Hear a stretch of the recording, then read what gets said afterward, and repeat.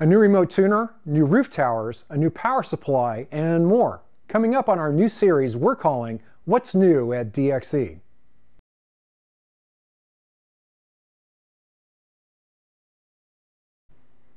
Welcome back to the DX Engineering channel. I'm Michael, KI8R.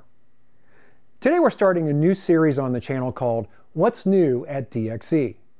In this series, you'll see items that were recently added to the DXE website and are currently in stock or expected to be soon.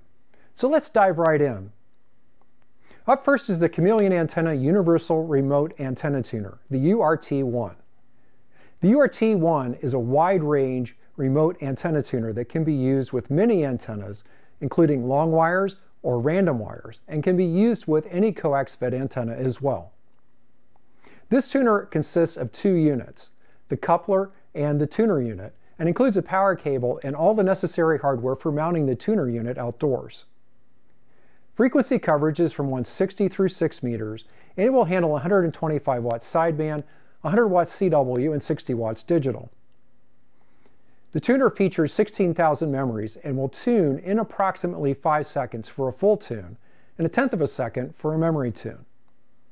This tuner does not require a transceiver-specific control cable, so it will work with almost any HF rig. This tuner is expected to be in stock in September. Innova Antennas has a 6 meter LFA 7 element beam. This antenna has a 1.57 wavelength boom that measures just over 31 feet long and can handle up to 5 kW. The antenna is a loop fed array which boasts 12.9 dBi of gain and over 30 dBi front to back. It also has 600 kilohertz of bandwidth. Wind load is just under 4 square feet and it's rated at 176 kilometers per hour or 110 miles per hour of wind survival. One thing to note is that LFA antennas are typically quieter than conventional Yagis, which makes this antenna perfect for weak signal or EME. This antenna is currently in stock. Eclipse has a number of new items on the DX Engineering website. The first item is the GS23K butane soldering iron. It comes in a rugged plastic case and features auto ignition, 90 minutes of runtime, and a refillable tank. This 3-in-1 unit will work as a soldering iron, blowtorch, and hot air blower. Next is the PK616A. This is a professional electronics toolkit which features a number of tools including a compact digital multimeter, screwdrivers, pliers, desoldering pump, soldering iron, and diagonal cutters. The SS969E SMD hot air rework station will not only work with soldering surface mount devices, but will also work with heat shrinking, drying, paint removal, glue soldering, and more. This unit has an adjustable, adjustable settings for airflow and temperature settings. The temperature range is adjustable from 212 to 842 degrees Fahrenheit. The MT1236 multimeter is an auto-ranging multimeter that will measure resistance, capacitance, and temperature. This meter features an LCD backlit screen and is powered by three AAA batteries. The SSX28A is a portable mini hot air gun, which has two separate temperature and power levels. It can operate at 250 watts with a temperature of 662 degrees Fahrenheit, and at 500 watts with a temperature of 932 degrees Fahrenheit. This hot air gun is lightweight and portable and features a comfortable grip and includes a foldable stand and a reflector nozzle. Each of these Eclipse items are currently in stock.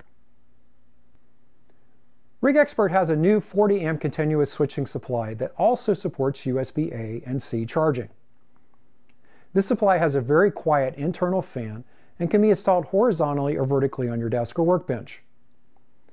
The front panel features a touch display that automatic, automatically rotates to support the orientation of the unit.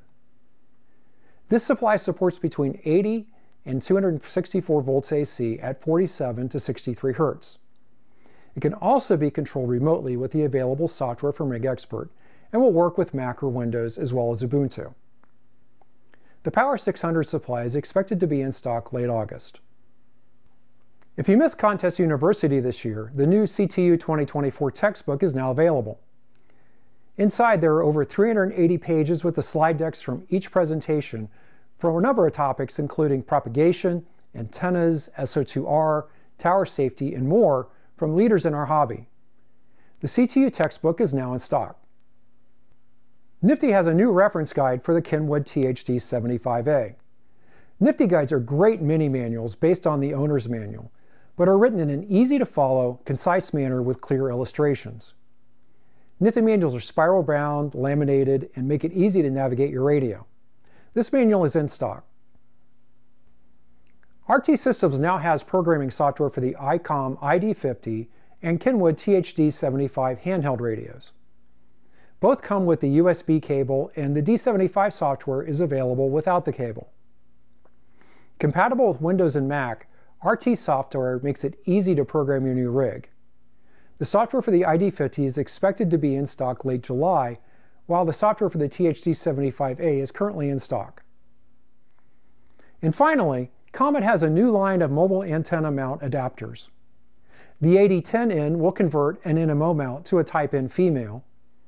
The 8015M will convert an NMO mount to an SO239 female. The 8025M will adapt an SO239 to accept an antenna with an NMO mount. And the 8035M adapts an SO239 mount to a 3H24 threaded stud. All these adapters are currently in stock. And that wraps up this edition for What's New at DXE. Links for all these items will be in the description below. Thanks for watching. I'm Michael, KI8R, and we'll catch you on the next one.